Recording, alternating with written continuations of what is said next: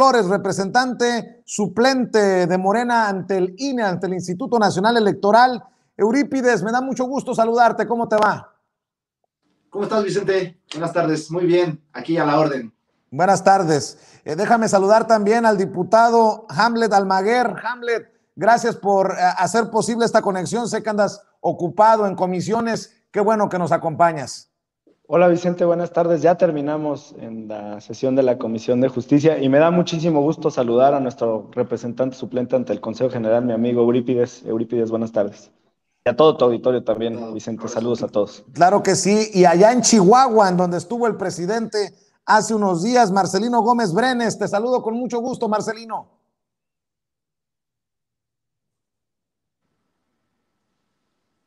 A ver si tenemos a, a Marcelino. Compañeros. Bueno, eh, vamos, eh, me avisan cuando regrese Marcelino Gómez Brenes. Saludo primero y empiezo con los temas con Eurípides Flores. Eurípides, eh, pues dejaste la víbora chillando el viernes aquí, señalábamos tu denuncia contra Lorenzo Córdoba. Lorenzo Córdoba que dice que él es limpio, puro, honesto y que nunca sería una zancadilla para el proceso de revocación de mandato, aunque dice que está abierto a todo lo que se tenga que analizar porque no hay dinero. Eh, Eurípides, ¿ante qué estamos en el INE? Así es, Vicente. Pues fíjate que el jueves nos llegó información de que ya estaban circulando por ahí documentos en los cuales los consejeros de Lorenzo Córdoba, Ciro llama básicamente, eh, aunque también acompañados por el consejero Ruiz, el consejero Rivera, eh, estaban ya planteando una posible suspensión de las actividades del proceso eh, histórico que va a ratificar el mandato de nuestro presidente el próximo año. Y ante esta información nosotros eh, teníamos que llamar la atención, teníamos que alertar a la ciudadanía que está muy interesada en este proceso y por eso adelantamos que, que, estaba circulando esa información. Luego, más tarde, algunos medios de comunicación ya traían el documento y era, era básicamente eh, eh, esta idea que ellos traen de seguir bloqueando la organización de este histórico proceso.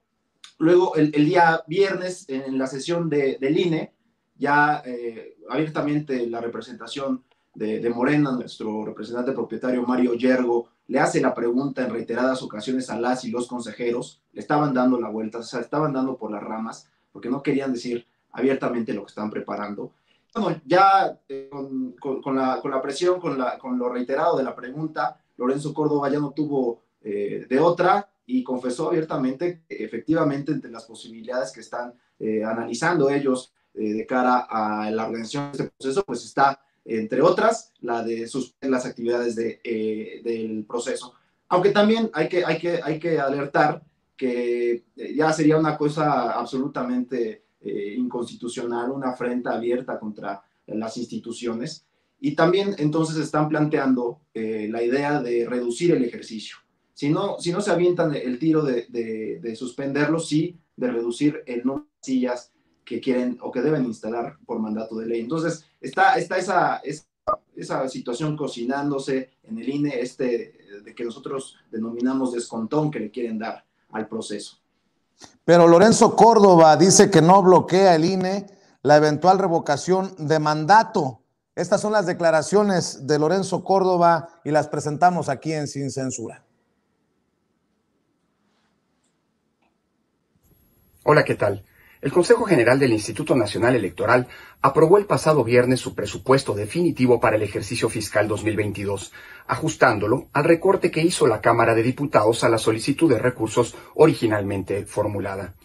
Tal como lo mandata la ley, el instituto hizo los ajustes presupuestales para estar en condiciones de llevar a cabo un eventual proceso de revocación de mandato que, en caso de ser solicitado por la ciudadanía, requiere recursos por más de 3.830 millones de pesos. De manera general, los ajustes que hizo el INE a su presupuesto fueron los siguientes. Primero, una liberación de recursos del orden de 445.4 millones de pesos provenientes del presupuesto base y de la cartera institucional de proyectos, lo que implica, entre otras cosas, la cancelación de obras programadas como la construcción de dos juntas locales del INE en Querétaro y Colima. Segundo, el establecimiento de una meta de ahorro de 227.1 millones de pesos que ha sido ordenada por el Consejo a diversas áreas del instituto.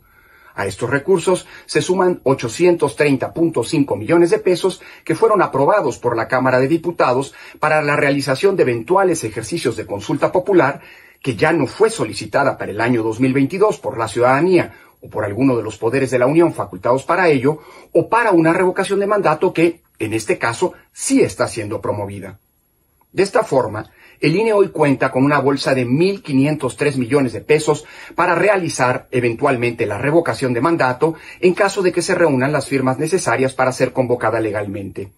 Ese monto resulta insuficiente para llevar a cabo este proceso con las características y amplitud que se estipulan en la propia ley federal de la materia, que entre otras cosas exige instalar el mismo número de casillas de un proceso electoral federal, es decir, más de 161 mil casillas el boquete presupuestal que hoy enfrentamos para poder realizar adecuadamente este ejercicio es del orden de 2.300 millones de pesos que hoy son faltantes.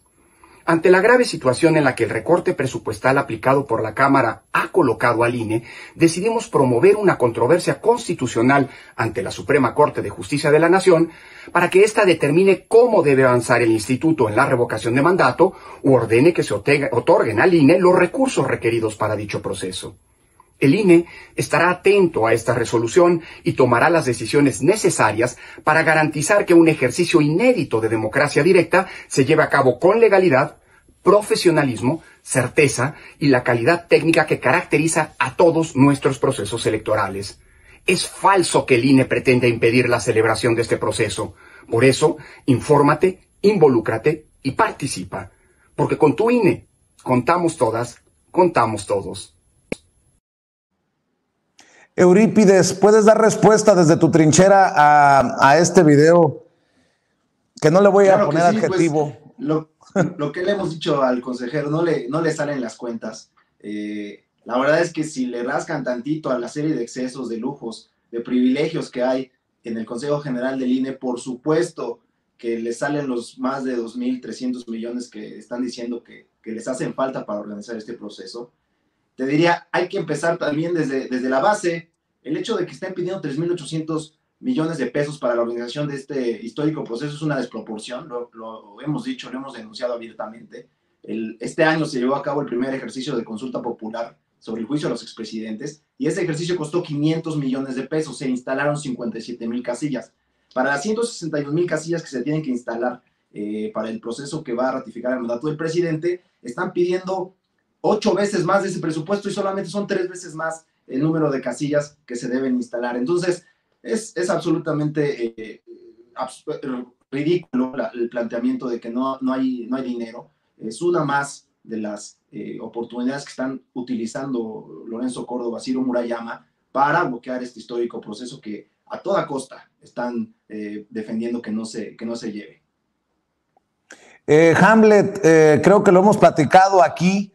Lo que busca, desde mi perspectiva, como lo leo, Lorenzo Córdoba es responsabilizarlos a ustedes, los diputados y diputadas que aprobaron esa reducción presupuestal para para el INE para el próximo año, algo que me parece, con mucho respeto lo digo, muy cobarde.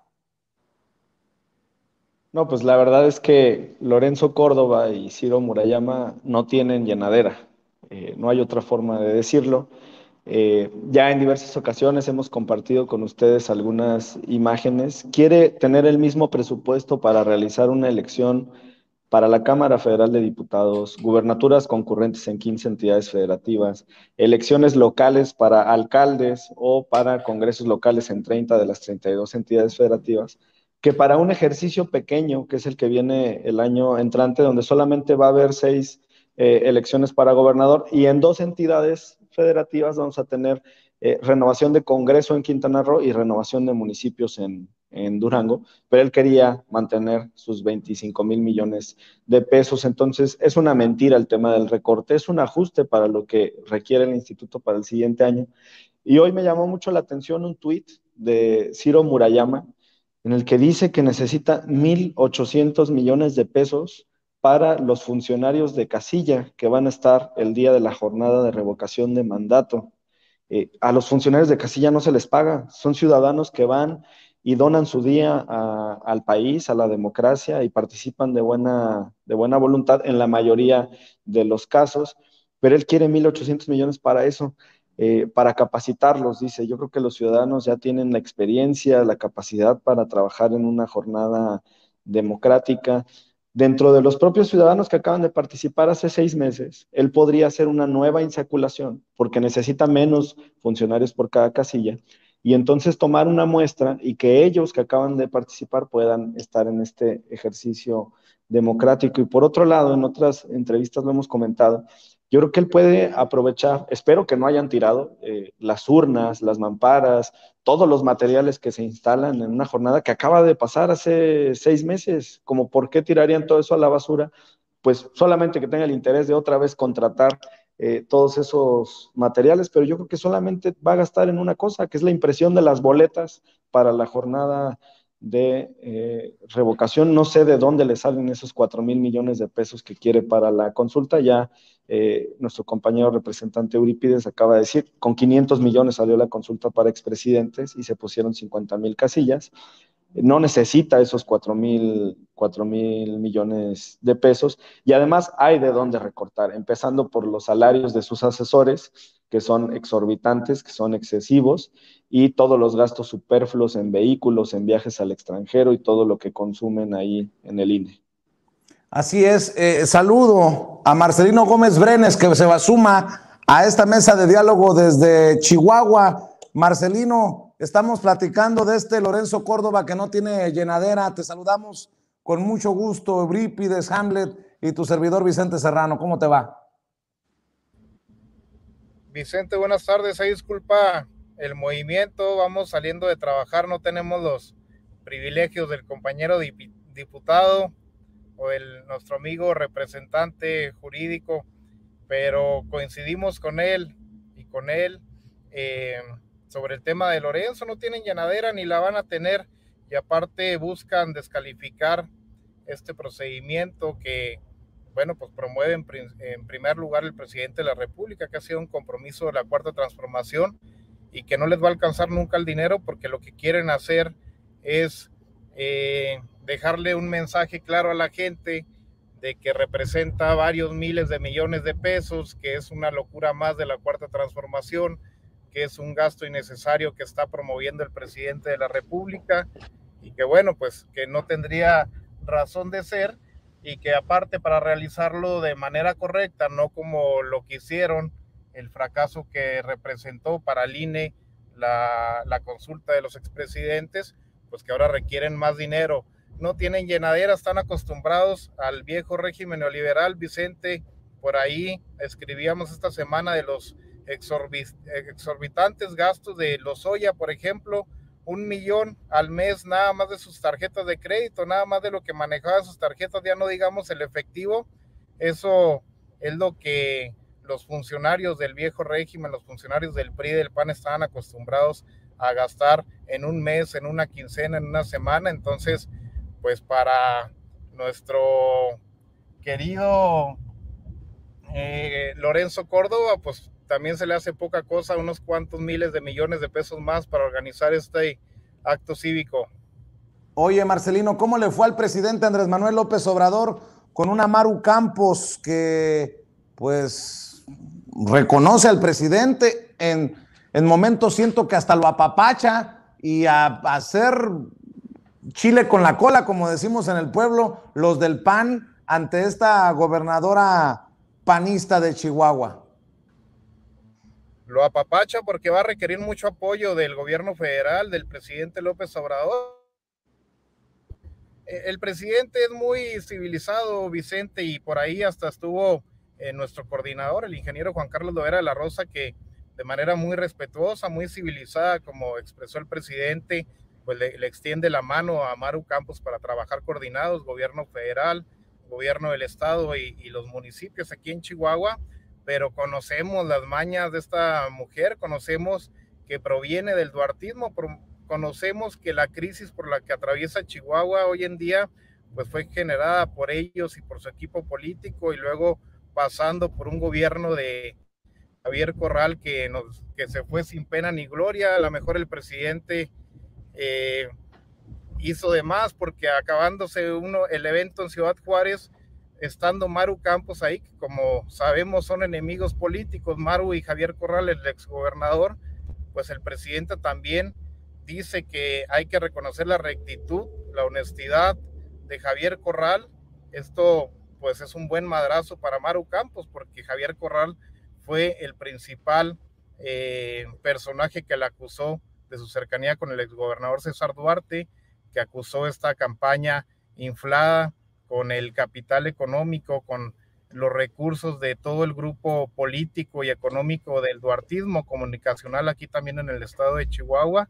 Entonces se pone de tapete Maru Campos porque va a requerir al gobierno federal, aunque ya hemos visto también aquí en Chihuahua que su estrategia va a ser la misma, a ellas no les gusta la austeridad, están como Lorenzo Córdoba y cada semana, cada 15 días está viendo cómo pedir créditos, ya llevamos eh, arriba de los 80 mil millones de pesos de deuda aquí en el estado de Chihuahua y ella desde la primera semana que entró como gobernadora, pues para empezar 2 mil, 3 mil milloncitos de crédito más a la cuenta, Vicente. Así es, y Eurípides, regresando al tema de la revocación, estaba viendo que se entregaron otro